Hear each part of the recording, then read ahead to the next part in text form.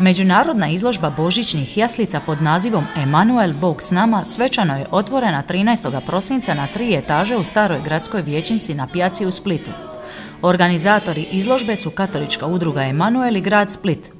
Radove je izložilo 45 izlagača zaljubljenika u tradiciju i božićne običaje iz Splita, Sinja, Omiša, Vodica, Solina, iz Francuske, članova maestrala, udruge Lastavica, zajednice Italijana te osnovnih škola.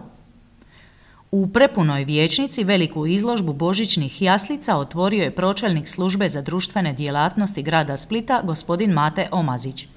Istaknuo je raznovrsnost jaslica izrađenih od brojnih materijala od klasičnih s mahovinom i ovčicama preko minimalističkih stiliziranih prikaza pa sve do onih visoke razine simbolizma. Izložba se tradicionalno otvara u povodu blagdana Svete Lucije, a najzaslužniji za odabir izlagača je gospodin Mario Braškić, naš najpoznatiji jasličar, koji se izradom jaslica bavi punih 50 godina. Na otvorenju izložbe nastupio je pjevački zbor Srdelice pod vodstvom maestra Jovice Škaro.